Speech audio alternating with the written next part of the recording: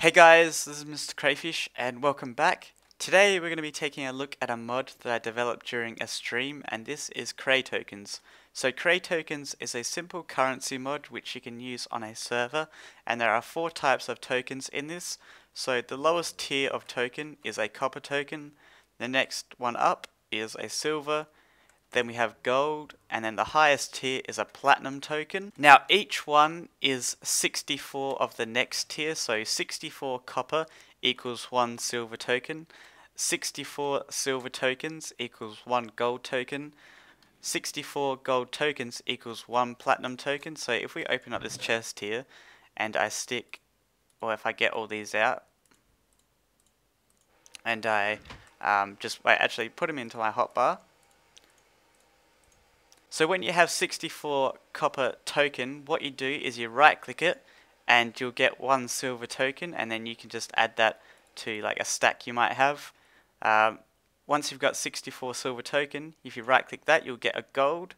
If you right click when you have 64 gold tokens in your hand, you'll get a platinum token. Now this can be done vice versa using a crafting table. So if you put the platinum token in, token in, you get 64 gold back. If you put the gold one in, you get 64 silver tokens back, and then if you put the silver in, you'll get 64 copper tokens back. So you might be asking yourself, how do I obtain these tokens? And the answer to that is to kill mobs. So I've got some volunteers over here, they all signed up for this video. Um, so we'll go ahead and kill the zombie here.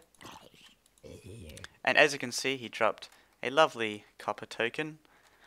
If we kill the skeleton, he'll drop another token, and if we kill the creeper, he'll drop a token too. Now, this can be done to any hostile mob.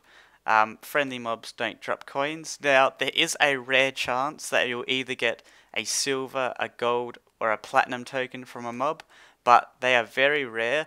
A platinum one is 1 in 2000, so that's really high. Um, a gold one is 1 in 500, and then a silver one is 1 in 100. So they're quite rare to get um, the next tiers up. If we head down this direction, I just want to show you some examples that I've made using this currency. So if you're on some sort of SMP server and you want to implement some sort of shop, um, I've set up these shops here to work with the um, the tokens. So here it says insert one token and we'll get one um, chest, so one silver token I mean. Um, so we'll put that in. And there we go, we have a chest. Now on this one we've got insert one platinum token and we'll get an enchantment table. Awesome. Now just a little side note, I'm going to do a tutorial on these very simple trading machines. So if you were wanting to know how, um, there will be a tutorial out soon, so make sure you subscribe. But anyway, the next thing that I want to take a look at is um, the computer here from my furniture mod.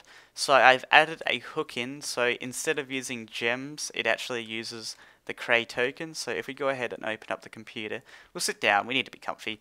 If we go, go ahead and open up the computer, um, if this mod is installed, it will actually use the tokens instead of the emeralds. And why is that really offset? That's really weird. I'll have to fix that up later.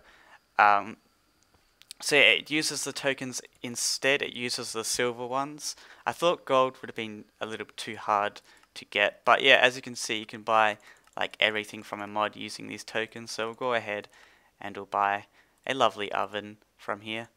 Give me the oven. Give us our tokens back. And we'll place that down there. Yay.